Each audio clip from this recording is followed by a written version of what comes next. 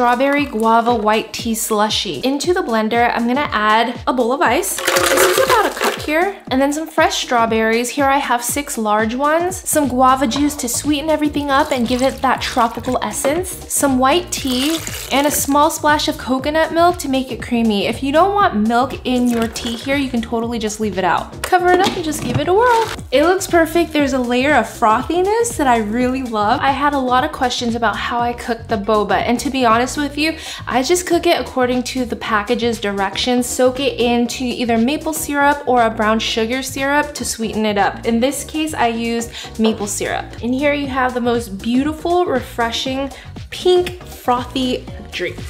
You guys have to try this one, it's my favorite.